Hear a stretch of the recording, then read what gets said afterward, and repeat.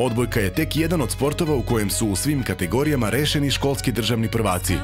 Do odlaska na letnji raspust ostalo nam je da saznamo imena najboljih škola u futbolu, rukometu, streljaštvu, atletici i gimnastici. U tim sportovima osnovci i srednjoškolci se upravo zahuktavaju i sve su bliži finalnom nadmetanju, odnosno državnom prvenstvu. Plasman na završno takmičenje koje sav taj trud nagrađuje medaljama i peharima, tokom nedelje u Novom Sadu na međuokružnom takmičenju tražile su gimnastičarke. Talentovane devojčice svih uzrasta, od mlađih osnovki do starijih srednjoškolki, okupile su se sa istim ciljem u sali Sokolsko društva Vojvodina. Razvoj školskog sporta je veoma bitan, ne samo za grad Novi Sad, nego za čitavu državu, jer školski sport je baza za svaki drugi sport. Najbitnije je animirati decu da se bave sportom kako bi zdravo živeli i kako bi mogli oni koji već pokazuju neke svoje talente mogli da nastave trenažni rad u klubovima i naravno posle u reprezentaciji. Grad Novi Sad mnogo ulaže u školski sport, mi imamo podršku od svake vlasti.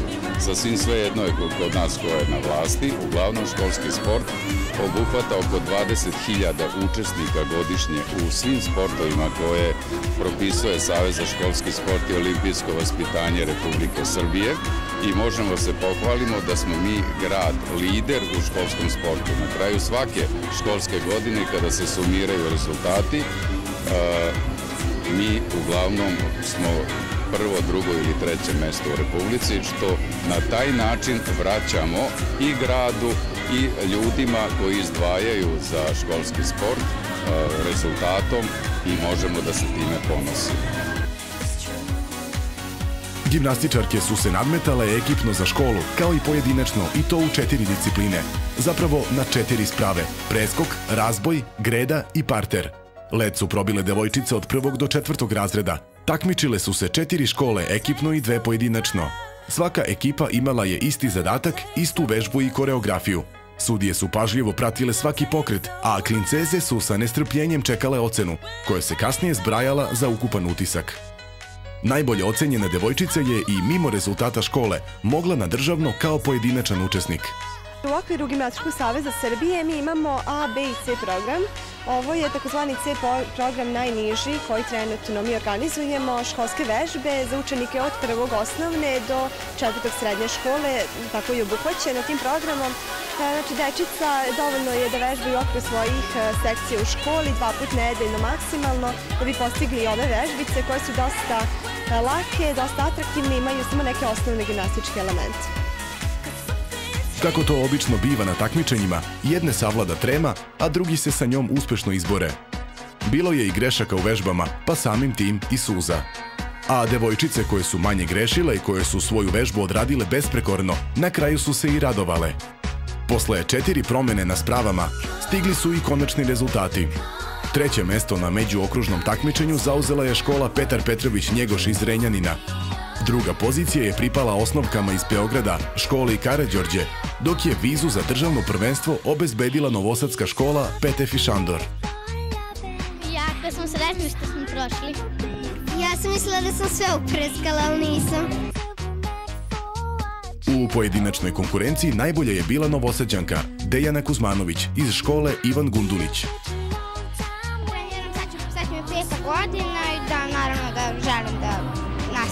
Vežbam. Na red je došla kategorija od petog do šestog razreda. Njihove vežbe za nijansu teže nego za najmlađe osnovke, a samim tim su i ocene bile nešto više. Ponovo je potrebno dokazati se na sve četiri sprave. Sa jedne na drugu prešle su gimnastičarke iz pet škola, a kad se rotacija završila i kada su sve ocene zabeležene, saznali smo i ko je u očima sudija izveo vežbu baš kako treba. U ovoj konkurenciji treće mesto zauzele su devojčice iz Beogradske škole Branko Ćopić. Na stepeniku više našle su se učenice osnovne škole Jovan Cvijić iz Renjanina, a plasman na državno prvenstvo izborila je ponovo Novosadska škola Petefi Šandor. Mi smo sa sekcije nastavnica fizičkog nas vodi dve godine. Očekivali smo, zato što tako je bilo i prošle godine i mislimo da ćemo osvojiti barem treće mesto na republičkom. Pa, e, zovem se Milica Mučegović i ja baš i nisam nešto očekivala. E, prvo mesto... Stasija Vučić i očekivala sam prvo mesto.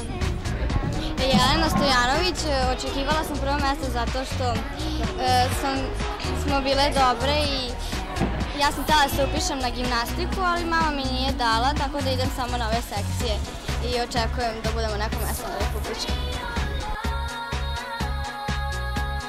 Kada je pojedinačna konkurencija u pitanju, najbolje ocene zavredila je Anica Ilić iz Beogradske škole Pavle Popović. Treniram u Beogradu, bavim se gimnastikom oko 7 godina i nadam se da ću napredovati, napredovati još više. Uh, iskreno se nadam da ću pobediti tamo i da ću ovaj, vežbati bolje nego danas. Ovaj prvi krug takmičenja je svakako obeležila škola Petefi Šandor iz Novog Sada. Na državnom prvenstvu ova škola će dakle imati predstavnika u dve kategorije, a to zapravo i nije iznenađenje, kada se zna da se u Petefi Šandoru gimnastika godinama neguje. Osnovna škola ovaj, Petar Fišandor je nastavila tradiciju svog kolege, inače on vodi sportsku gimnastiku za dečake, a ja sam oko mlad narašte sportske gimnastike i ovaj, pre, prošle godine smo krenuli sa sekcijom i isto smo se plasirali do republičkog nivoa, a ove godine smo jako radili, vredno, vredno, vredno, znači trenizi su bili bukvalno svaki drugi, treći dan, svaka subota je bila radna i zaista do ovoga uspeha da bi došlo mora, mora tako da se radi. Ovaj, dolazile su, vole da dođe, obožavaju sportsku gimnastiku i eto, to je bilo nešto, neki moj postrek da ja eto, radim sa njima i da dođem do ovog Mlađe klinceze su sprave prepustile onim nešto starijim. Konkurencija u kategoriji devojčica od 7. do 8. razreda bila je nešto manja. Tačnije, za prolaz na državno prvenstvo nadmetale su se dve škole i jedna u pojedinačnoj konkurenciji. Promene su bile brže, vežbe teže, a ocene više nego u prethodnoj kategoriji. Sa preskoka na razboj, pa na gredu i na parter. S obzirom na to da su dve škole u igri za ekipno takmičenje, na pobedničkom postolju su i otvorena samo dva mesta. Na drugom se našla škola Petar Petrović Njegoš iz Renjanina, a pravo da se bore za zvanje najboljih u Srbiji obezbedile su gimnastičarke škole Miloš Crnjanski iz Novog Sada. Treniram 8 godina, uspešno i nadam se da ćemo tako proći na državnom prvenstvu, kao i na ovo što smo očekivali. Nisam. Treniram 8 godina i uglavnom smo prvo klasirane i nadam se prvo mesto na republičkom. Ja sam Ana Bućina, treniram 8 godina. Očekivali smo ovaj plasman zato što smo i ranije osvali prva mesta i trudili smo se, ja, često smo trenirali svaki dan i očekivali smo. E, ja sam Zorana Martinović, treniram isto 8 godina. Veoma smo uspešne u tome. Grad domaćin ovog takmičenja, osim ekipnog, dao je predstavnika za državno prvenstvo i u pojedinačnoj konkurenciji. Najbolji utisak među sedmakinjama i osmakinjama ostavila je Aleksandra Rajčić iz škole Ivan Gundulić. Već dugo vežbam gimnastiku sportsku, jedno osam godina prvog razreda. Usvajala Pa sam na državnom prvenstvu u sportskoj gimnastici dosta dobrih rezultata je bilo. Saznali smo imena svih osnovnih škola i gimnastičarki koje su prošle međuokružno takmičenje. Ostalo je još da vidimo kojoj srednjoj školi će to takođe poći za rukom. U konkurenciji su bile dve škole u ekipnoj i dve škole u pojedinačnoj konkurenciji. Pa, bit ćemo prvi sve jedno. Hoćemo, bit ćemo prvi. Prvi sigurno. U odnosu na svoje mlađe koleginice, srednjoškolke su u svojim vežbama imale nekoliko elemenata više. Pitanje pobednika je brzo rešeno. Učenice Poljoprivredne škole PKB iz Beograda zauzele su drugo mesto, a bolje od njih bile su novosađanke, učenice škole Jovan Jovanović Zmaj. Gimnastičarke ove škole na državnom prvenstvu koje će biti održano 15. i 16. aprila u Kostolcu nadmetaće se ekipno i pojedinačno. Na sudije su podjednak utisak ostavile dve učenice Novosadske škole, te je odlučeno da obe zaslužuju da se nađu na najvišem postolju u sali Sokolskog društva Vojvodina.